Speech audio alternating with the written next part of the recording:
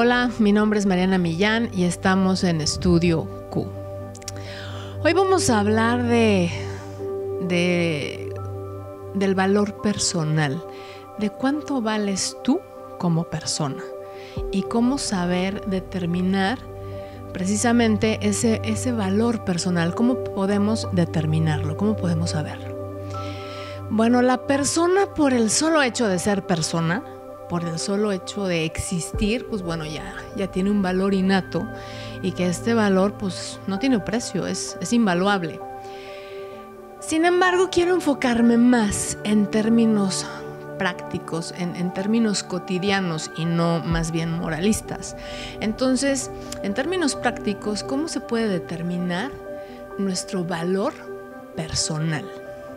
Y aquí eh, voy a hacer referencia a Víctor Cooper porque él utiliza una fórmula que nos ejemplifica muy bien este tema. Y él también menciona que, por ejemplo, las personas somos como focos. Y un foco, pues, ¿qué emite? Luz.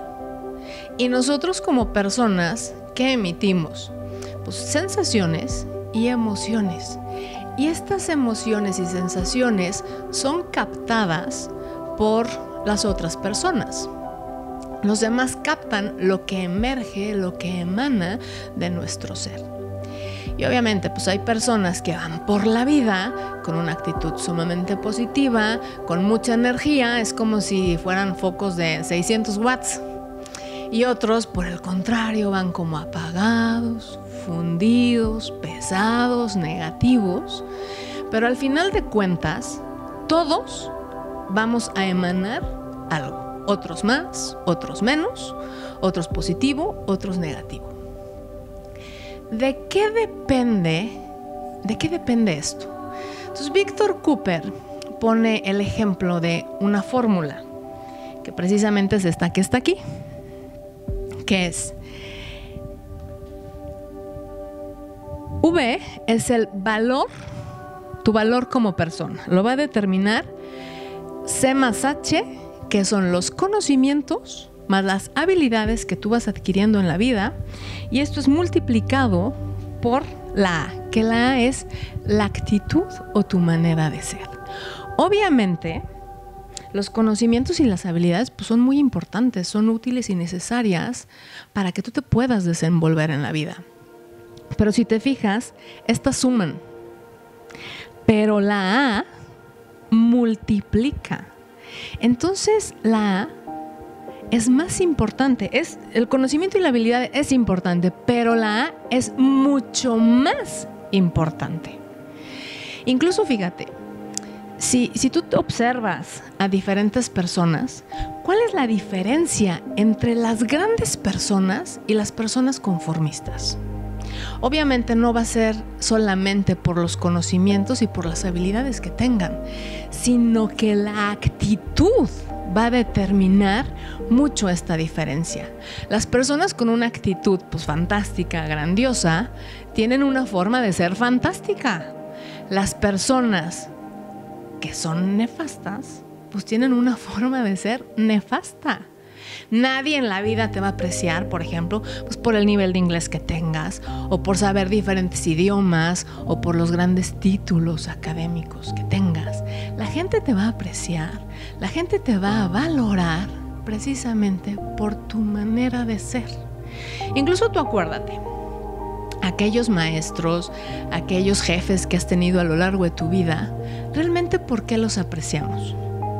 ¿A poco los aprecias por las maestrías, los doctorados, este, todos los títulos que tengan? Pues no, los apreciamos por la manera de ser, por su actitud ante nosotros mismos y ante los demás. Y a ver, los que te caían mal, ¿por qué te caían mal? Pues precisamente por su actitud. Y esto pasa exactamente igual en nuestro plano personal, con tu familia, con tus hijos, con tu pareja, con tus amigos. No nos van a apreciar por los grandes títulos que tengamos. Tu hijo no va a decir, a ver, no es que yo quiero mucho a mi papá o a mi mamá porque es doctor en filosofía. Pues claro que no. Tu hijo te va a apreciar o te va a querer precisamente por la actitud que tú tengas con ellos, por la forma en que tú les enseñes cómo ves la vida y cómo te manejas y mueves en ella. Y también, bueno, estoy consciente que, que la vida pues no siempre es sencilla y que en ocasiones ciertas situaciones hacen que nuestra actitud pues no sea la más positiva y que a veces vayamos pues tristes, enojados, desilusionados, como apagados o fundidos. Y de verdad esta conducta es entendible cuando hay ciertas situaciones que se presentan. Pero esta conducta debe ser transitoria y no debes de quedarte atrapado o anclado, estancado en la negatividad y en esta negrura. Entonces, en un entorno complicado, tú o cada uno de nosotros vamos a tener dos opciones. Una, hacerme la víctima, culpar a los otros de lo que me sucede, tirar la toalla y rendirme. Ir como un foco fundido. O bien, responsabilizarme de mis actos, tomar el control de la situación, superar el obstáculo que se me está presentando y saber que esta experiencia que estoy teniendo es para mi propia evolución. Y si se me presenta esta situación complicada, no es para que sufras. Precisamente es para que cambies, porque hay algo que no estás haciendo bien. Entonces, eh, en una situación así, que sepas que el problema no necesariamente es el problema en sí. Muchas ocasiones el problema es nuestra actitud ante ese mismo problema y nuestro estado de ánimo se puede y se debe de trabajar. Esa es nuestra responsabilidad. Y como decía Osho, y es muy cierta esta frase, si sufres es por ti. Si te sientes feliz es por ti. Nadie más es responsable más que de más que tú de cómo te sientes, solo tú y nadie más que tú. Tú eres el infierno y el cielo también. Entonces tú mismo, con tu actitud, vas a determinar cuál es tu valor como persona. Gracias por tu atención. Soy Mariana Millán para Estudio